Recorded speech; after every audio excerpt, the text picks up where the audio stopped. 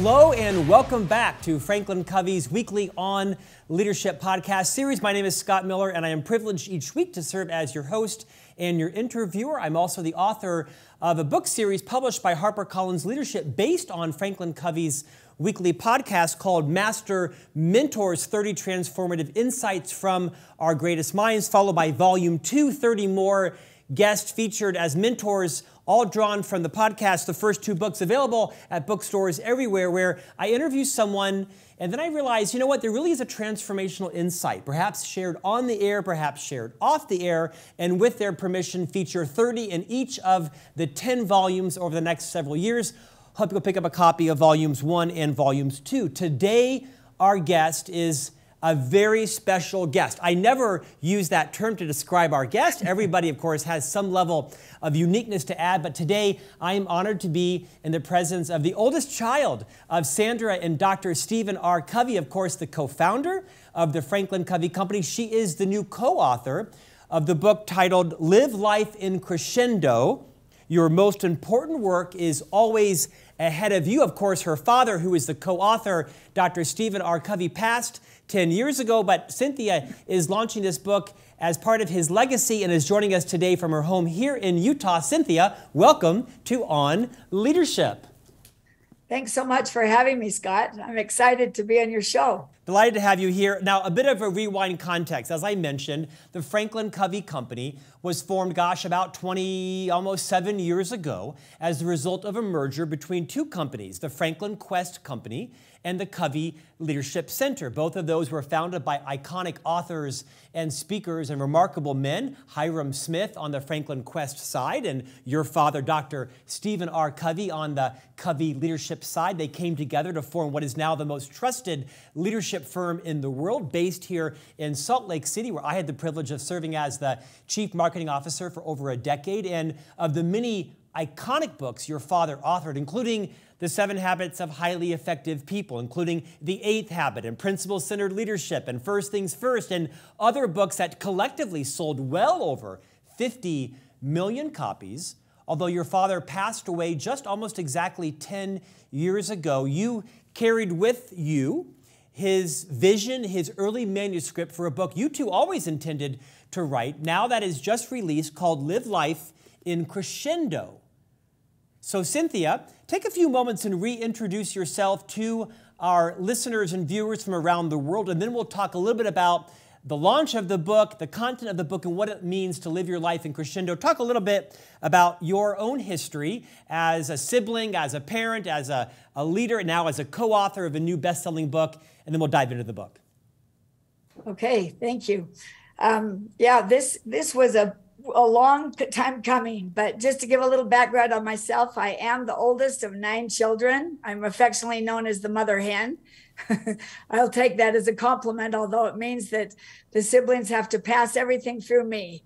Of course, they're, you know, who their kids are dating and and what's going on in their lives. And I I love my I love my role. I love our siblings. We have a great relationship and our our family but um, yeah, I have I have six children of my own. Um, I live in Salt Lake City, and my father and I began this journey. I think back in 2008, when um, I asked him um, mistakenly. I said to him, "Hey, are you ever going to do anything that will be as as successful as Seven Habits?"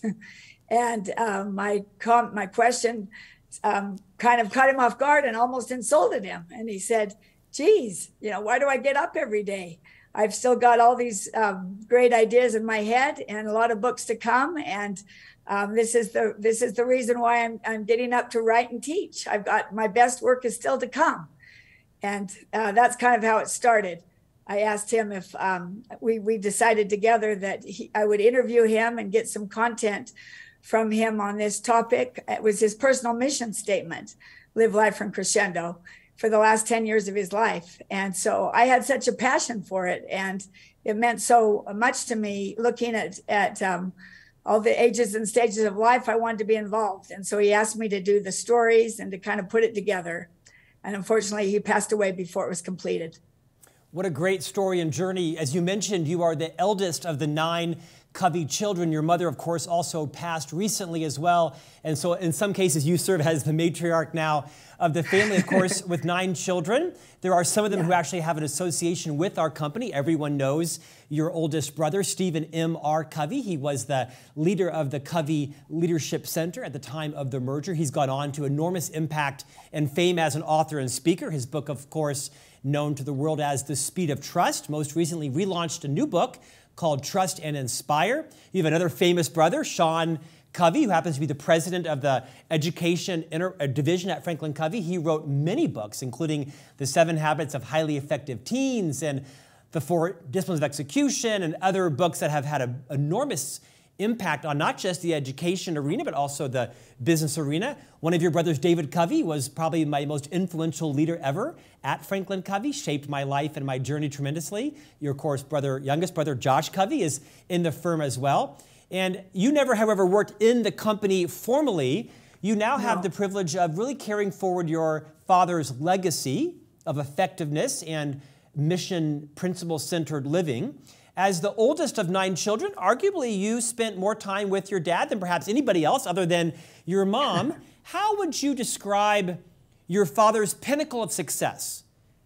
Obviously, when you were younger, your father was not a household name. And of course, when you were older, your father became an international celebrity, whether he wanted it or not. Was there a pivot point when you thought, you know what, my father, mission accomplished? well, um, yeah, that there there was Scott. Um, you know, looking back on my childhood, uh, we were a, a, normal family. We were, we loved each other, but we had normal ups and downs and struggles and problems like everyone else. But my parents, I felt like, tried as hard as they could to live what they taught. And um, just thinking back on on what you described as my father's pinnacle to us, um, the fame and things that he achieved in the business world and in speaking and writing was nothing to compare to that really paled in in terms of how he was as a father. And just to use as an example, um, I talk in the book about when I was 12 years old. Uh, um, that my dad invited me to go to San Francisco with him to accompany him on a trip, and um, I was so excited. Part of the fun was planning it two or three months ahead and talking about every detail. And the plan was that after his presentation, um, I would stand at the back of the room. He told me just to relax at the pool and enjoy the hotel and then come at the very end. And we would take off as soon as we could and go ride the trolley cars.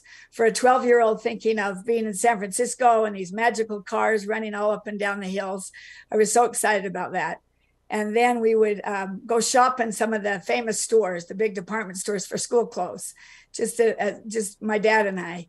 And then we would go. Um, our next plan was to go get Chinese food in Chinatown, which we both loved.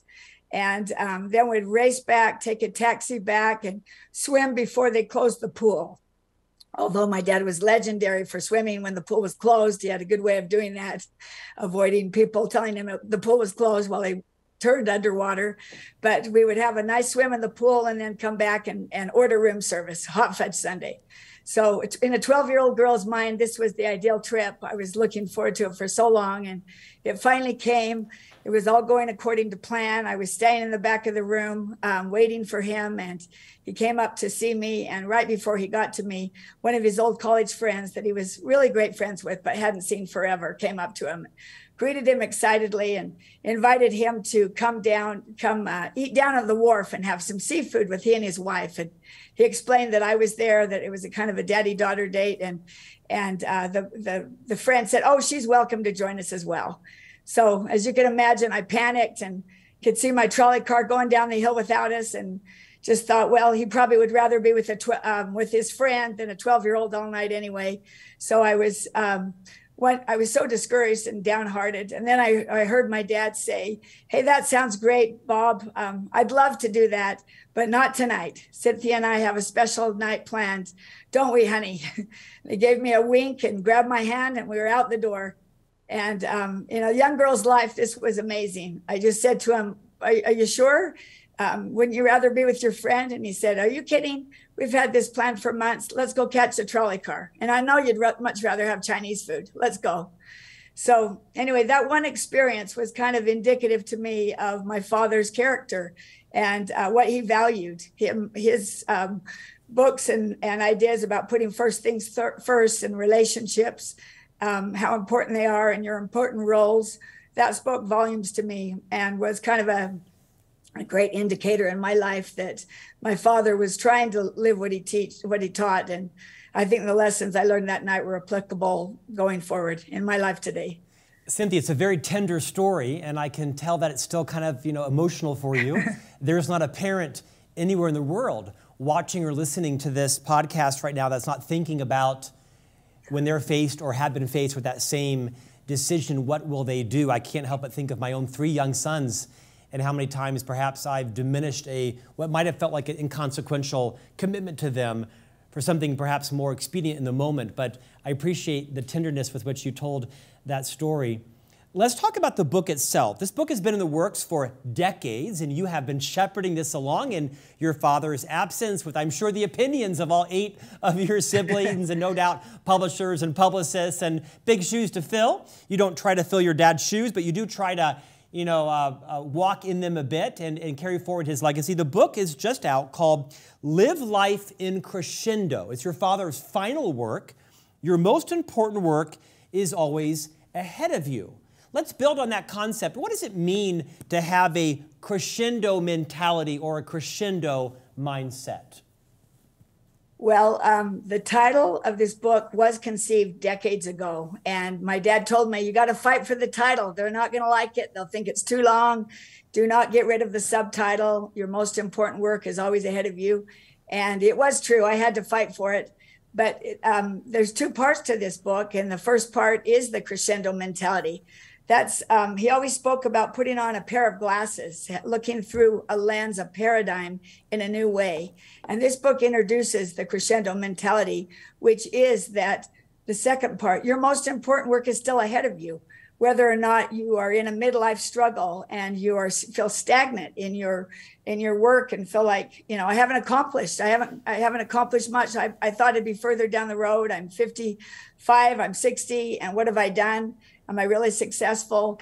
Um, in, a, in a pinnacle of success stage where you, maybe you have been very successful and you've done a lot, you've made a lot of money, or you've you've achieved your goals. What's next? What's what's your most important work ahead of you? Um, and then in a in a life change life setbacks, you know, having facing a divorce, um, being laid off from work, a terrible disease, um, having your life crumble. You know, how are you going to react? What what is what what's going to happen? How are you going to live? And then the last one is really why my dad uh, came up with this. Live Life for Crescendo was his personal mission statement, as I said, for the last 10 years, because I think he saw his mortality a little bit. People would come up to him and say, Wow, Stephen, you know, you're 65, you're 68. How long are you going to do this? You're going to hang it up and retire?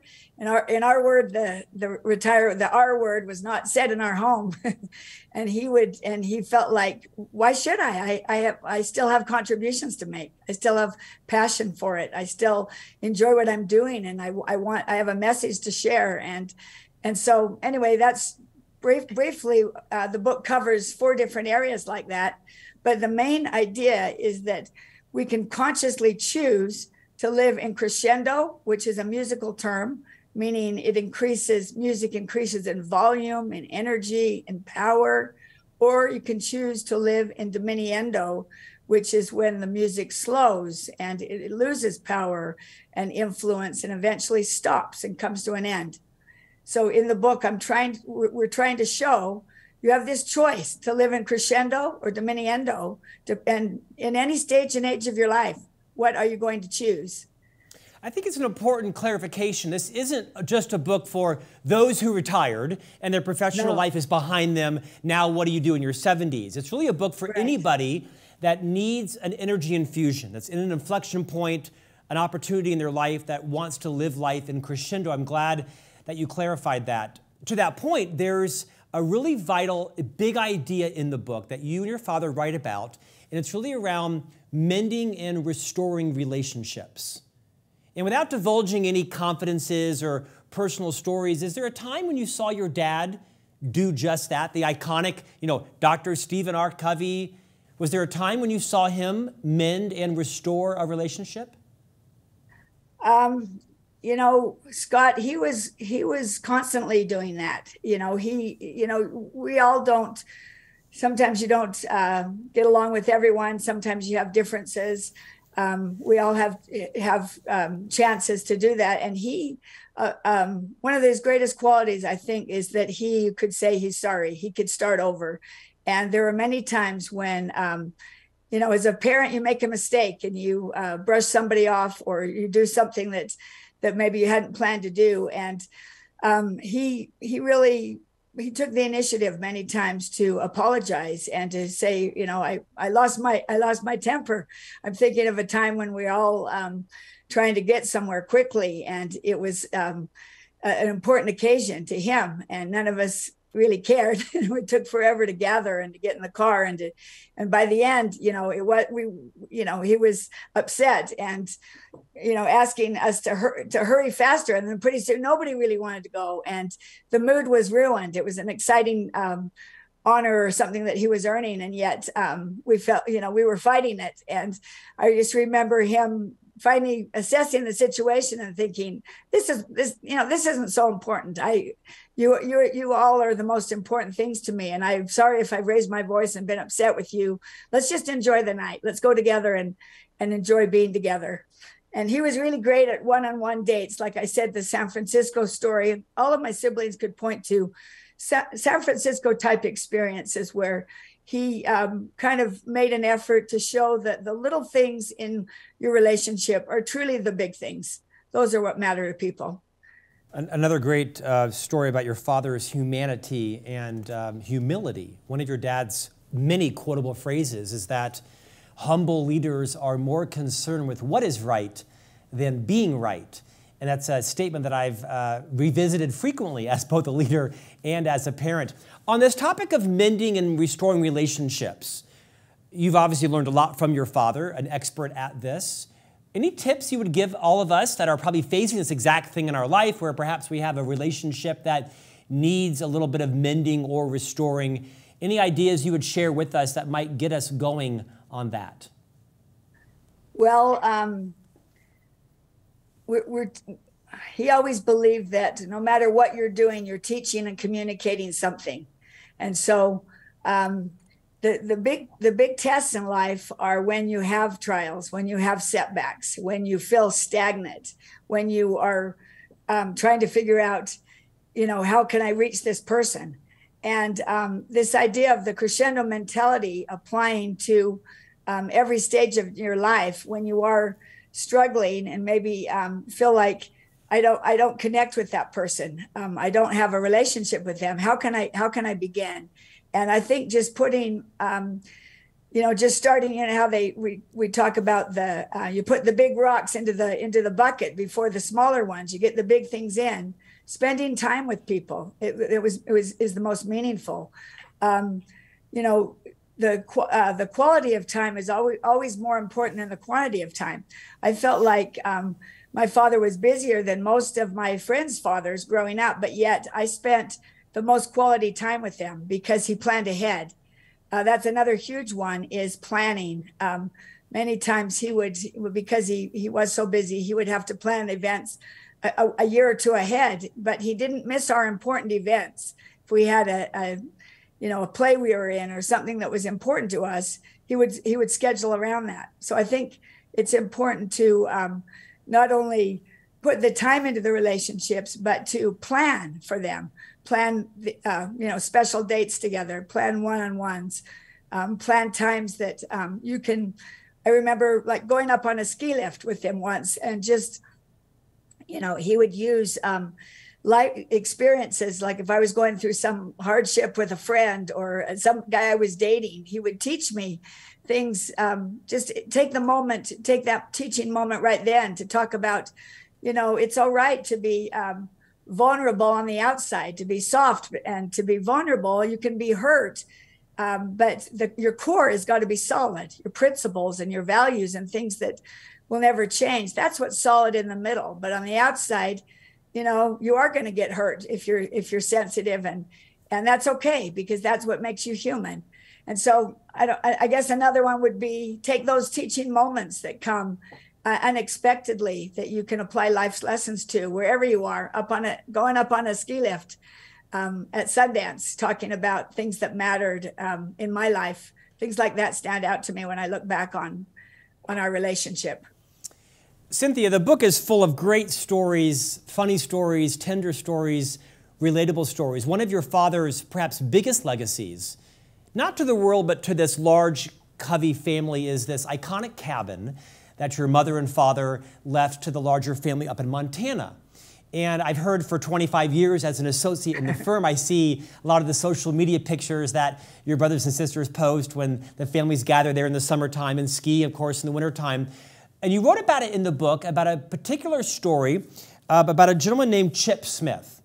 And I wonder if you might take a few moments and tell us about the Chip Smith story and maybe why you chose to include that in this book. It's one of my favorite stories because it um, it kind of reveals the character of my mom and dad to me and reminds me what I need to do in my life. But my parents were building this cabin um, years ago, probably 20 years ago. And um, it was the middle of winter, and uh, Chip had some questions about the cabin that it were stalled that he really needed to have answered. And they, so um, we we live in Salt Lake City, and this was in Montana. And my parents decided to travel up um, their busy schedule to it takes about six hours or so to get there travel all that way on icy roads and during the middle of winter to meet with Chip and discuss some important things for our cabin. Cynthia, remind our listeners and viewers who Chip was.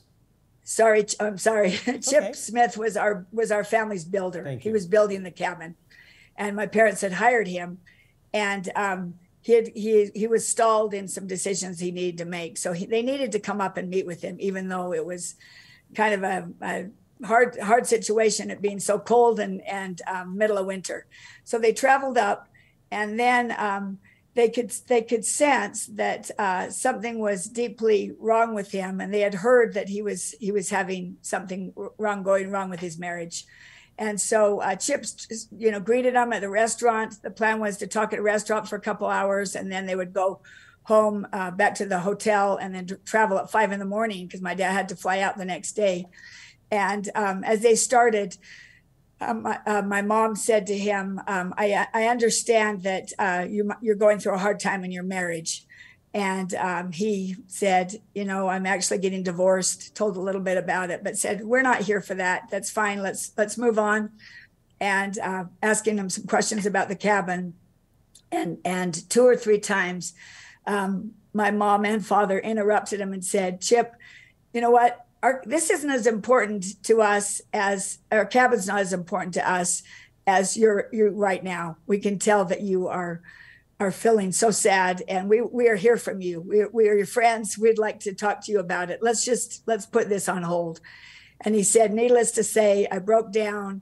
We spent the next three hours talking about my personal problems. He was going through a, a terrible divorce and um, was suffering so much that he um, that they they just spent the night talking with him. And he he realized he he wrote us this experience after uh, my father died and said um, he it is true that people uh, relationships are more important than things. They had here they had this big decisions to make about their cabin. It was very crucial, but and they drove all this way during the um, on icy, dangerous roads and had to leave first thing in the morning. Went home without even discussing the cabin, but yet I could see what I meant to them, and that in the darkest time of my life, they were there for me, and that meant the world for me. So we received this letter after our father passed away, and you can imagine what that meant to us. Um, Scott, that uh, you know people are more important than things, and you have to show it sometimes during crucial times, even if it's hard. A superb reminder. The story is told really beautifully in the book. Uh, let's go back to this concept of living life in crescendo.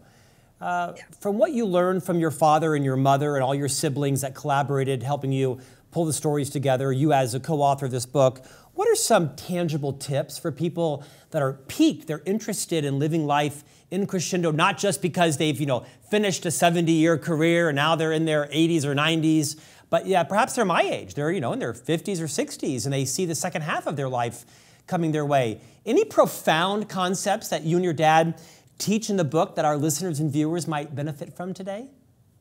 Well, um, there, yes, Scott. There's there's a lot of great ideas about um, living in crescendo when you have you're facing life setbacks. Um, one of my father's greatest um, mentors was um, Viktor Frankl and also Mandela, um, people that suffered greatly and had uh, such big setbacks, but yet here at 71, Mandela's released from prison. And you'd think, um, my, my dad studied him, realizing, you know, most people would think that um, his life would be over. He's 71. He spent 27 years um, on Robben Robben Island in South Africa. He comes out right when um, he's released, and they, he you're thinking his life is is finished. He's he's kind of been living in diminuendo, and yet um, he he realizes I still have important work ahead of me. Who would think at that age and after what he had suffered that he would take that experience and go on to help put a put aside apartheid and apartheid with de Klerk. Four years later, he is um, made the president of South Africa, the first black president ever, and and President de Klerk is his vice president, um, humble enough to take that position, and yet and then he goes on and changes the world. So the idea of um, you know your circle of influence. My father's always talked throughout his books about your circle of influence may you may think it's small it may be just able to affect a few but if you can enlarge it like uh, mandela did or like viktor frankl taking a horrible situation where he was imprisoned in a concentration camp and then eventually becomes the father of logotherapy and it and it's a domino effect his their circle of influence grows and grows grows and grows until it it actually takes over you know can spread through the entire world so that's one idea of um, realizing where you are if you're facing a, a, life setback. If you are stagnant in a business situation, maybe you um, were you've given some ideas to your boss and been shut down. You know, some ways to improve, and maybe you're not um, feel fully appreciated or feel like your skills are being used at all um, in in the job that you have, and you're you're underpaid and underappreciated. And so, what do you do? A life in diminuendo um, would just think, you know what, I'm going to bide my time and get by. I'm going to take my paycheck. I'm not going to do anything extra. I'm not going to add value um, to to the company. I'm just going to go day by day. But the same person could could take that opportunity of of being stagnant and realize I still have choices. I still can influence those around me. I can increase my circle of influence. I can take responsibility for myself. I can change my my surroundings, and eventually that pays off. His his life would begin to expand as he still contributes um, more, even if he doesn't feel like it's appreciated. He reaches out to other colleagues, and they get excited about a project, and they do a little extra, and then pretty soon that grows and expands, and and that person's life has changed. He's out of a stagnant midlife. Cynthia, last thought. The, your final tribute to your father and to your mother was quite moving in the book, and you share some things that perhaps weren't commonly known about your dad. Would you revisit a couple of those for those people that are listening that have obviously been a follower of your father's and read his books and been to his workshops, and perhaps they've even changed the trajectory of their careers or their marriages or their lives? Talk about perhaps some of the things you share in the book about your dad that uh, other people may not know about. Yes. Um, I appreciate that opportunity because as a family, we decided that this was important to show, um, you know, we're, we're our journey in living, trying to live in crescendo, which, which, you know, it can be, it can be easy in, in times that everything is going well, but it can be very difficult facing trials. And, um, we we faced we're trying to live in crescendo ourselves i i'm living in crescendo to finish this book i'm mm-hmm. 65 years old and it's taken me 10 years and i didn't know if it would be published i didn't know if it would you know everything would come about and i had to live in crescendo myself trying to be a faithful translator of my dad's last big idea to get this out but back to this um, the, the part of the end of the book where we have i have spoken more personally uh, our family faced three huge trials that we had to decide are we going to live in uh, crescendo? Are we going to have this mentality that we still have important things ahead to contribute? Are we going to unite? Uh, my mom had um, back surgery. Um, she'd always been healthy, and all of a sudden she has back surgery and it goes wrong, and she's in the hospital for four months and um, t- totally a changed person. She's everything's consumed with her health problems and comes home in a wheelchair. And at the same time, we notice that our father is not um, kind of not the same, not responding to, to our mother and the doctors as we think he would. He is a high energy person and it takes a lot of initiative and would want to get to the bottom of things. And he wasn't acting like that while she was in the hospital. And we noticed some some changes and um, in his personality. Um, he became more apathetic and this is not this was not like him and all of a sudden we after being diagnosed um, he is diagnosed with frontotemporal dementia um, uh, you know you're supposed to if you use your your brain you won't lose it but you know what this he was physically active and and, and mentally alert and um, this happened to him. It's only 4% of the people that have uh, dementia have frontotemporal. And so our family um, together, we're watching our mom, who's in a wheelchair and is different and can't do much, and our father is diagnosed with dementia and is not able to work anymore in his in his his greatest mission and his his life um, uh, profession of teaching and writing. And um, we that was a hard time for us. And as siblings, we had to um, pull together and rely on each other and our faith and our belief that you know we can still have great things come of this and we're going to do what we can to see this through and support our parents in their in what we perceived as a great decline and um, eventually my father um, my, mom my mom recovered my mom uh, really fought to live in crescendo and and she still was still in a wheelchair. Despite her wheelchair she still was the matriarch of the family and planned the activities and wanted to come to our games and and do all the things that we did together to bring us together. And then our father who had um, dementia we rallied and, and supported him and spent as much time as we could and tried to make his his life wonderful. Um, he was biking one day um, on a on an electric bike and and lost control and um, he was with somebody, but he hit his head and he started having internal bleeding. And that ultimately took his life about three or four months later. And um, it was a blessing um, in the long run because uh, he wasn't the same. And but this was hard for us. We both had parent. We felt like we didn't have either parent for a time. And then a couple months later, uh, my brother Sean's uh, beautiful daughter Rachel, at 21, passed away from effects of depression, and um, just a, two months after our father left and uh, this this rocked our family too. We had three hard things in a row within a couple years, and very close to each other to uh, together. And we we rallied and decided, um, you know, as a family, as Sean said, uh, someone told him that you'll always have a hole in your heart from uh, losing Rachel, and that kind of bothered him. And he thought, you know, instead of a, a hole, I'm going to grow a muscle there. And so he, um, their family all of us rallied around them and they are remarkable and they decided to make something um, to contribute to others lives out of because of in Rachel's behalf. And they began Bridle Up Hope which is an amazing um, uh, nonprofit that they run in Alpine for um, girls from 12 to 18 and also some women that suffer from anxiety and depression and from trauma from abuse. And they run this in her name and they use equestrian training which is very healing for people as well as the seven habits for teens to um, to help these girls in in um, these classes to graduate in 14 weeks from this and it's life changing 93% of the people who have gone through the parents have said it was life changing for their daughter and so um, I know I've said too, I've talked too long, but I'm just our personal examples is um, this is a lifetime effort. The crescendo mentality is something that can apply through all ages and stages of life. And we've had to we practice it ourselves. We struggle as as long along with everyone else, but we keep coming back instead of looking in the rearview mirror, as my father would say. Don't look in the rearview mirror. Look ahead. You're driving a car, and if you look in the rearview mirror, you're going to go in a ditch but if you keep looking ahead at what's coming and what you have to contribute and what's ahead, you can still have a wonderful life despite life setbacks. Cynthia, you are a class act and a beautiful ambassador for your father's legacy and life's work.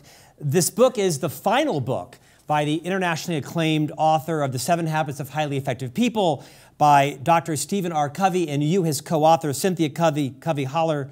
The book is Live Life in Crescendo. Your most important work is always ahead of you. Cynthia, thank you for joining us today on Leadership.